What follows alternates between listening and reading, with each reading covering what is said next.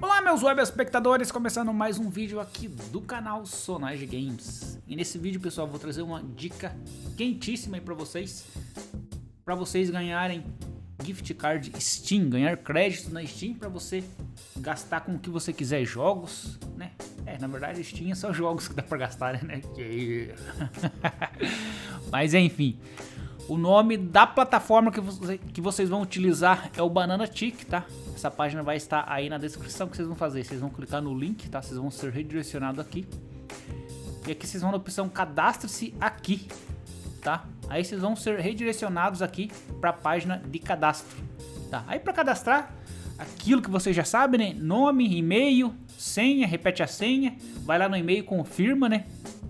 É, confirma, senão vocês não recebem o prêmio e é isso aí, tá? Então essa plataforma, a Banana Tick, ela, ela tem outras formas também de você ganhar as bananas, né? As bananas são os pontos virtuais, assim elas são chamadas, né? São os pontos virtuais aqui, ó. Ou seja, você ganha as bananas, depois as bananas você troca pelo cartão é, presente Steam, beleza? Então quais são as formas que tem para você ganhar as bananas aqui, ó? Você vem aqui na opção ganhar bananas, por exemplo. Tá? Então além de jogar, né, tem outras formas também aqui, ó. Tem aqui é conquista nos games, né? Tem aqui pesquisa, por exemplo, ó, que mais que tem aqui? Indicar amigos, tem aqui a Banana Pig, né, que você escreve artigos ou faz vídeos falando sobre a Banana que você ganha bananas. Só que o que interessa pra gente aqui é a fanzone, que são os minigames que a gente joga e conforme a gente vai jogando aí, interagindo com os jogos, a gente vai ganhando as bananas. Lembrando que as bananas aqui, pessoal, ela demora até 3 horas para atualizar, ó. Próximo update até 3 horas. Então se você jogar agora, daqui 3 horas que vai atualizar as bananas que você ganhou aqui, tá? Alguns conselhos aqui, ó. É, quanto mais ads você assistir ou clicar, mais bananas você terá, tá? Então é interessante aí que você assista os anúncios que vão passar antes de você começar a jogar ou durante o tempo que você está jogando, tá? Então tem vários joguinhos disponíveis, ó. Tem vários mesmo aqui. Se você quiser até é, classificar aqui por categorias, eu gosto muito dos puzzles, tá? Aí basta clicar em um aí que você que você gosta, né? Deixa eu clicar nesse candy aqui para nós ver como é que como é que funciona.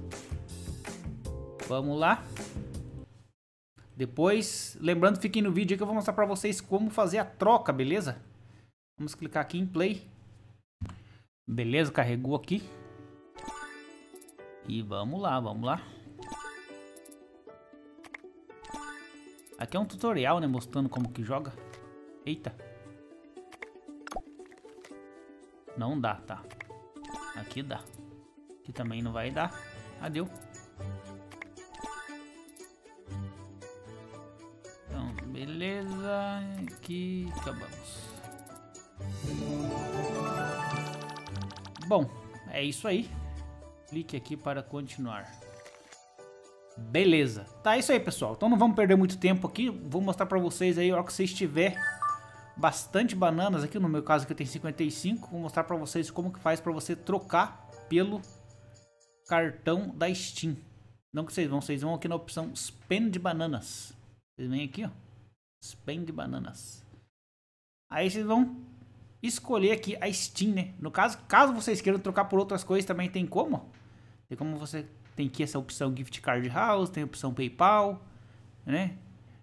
Tem como trocar por cartões presentes da Amazon também, dá para usar o PaySafe Card aqui, ó. Então tem outros aqui também, tá? Então no caso aqui, como a gente está falando da Steam, vou clicar aqui para vocês ver, ó. Tem a opção aqui, ó, por 250 bananas você consegue uma chave aleatória, a básica da Steam, né?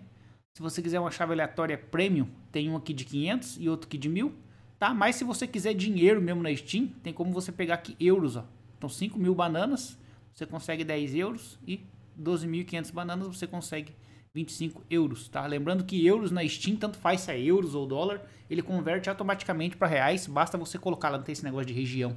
Tá? Então a Steam é legal por causa disso. Se fosse o Google Play já não dava, né? O Google Play tem que ser naquele país para dar certo. Agora Steam não, Steam em qualquer lugar global ele aceita.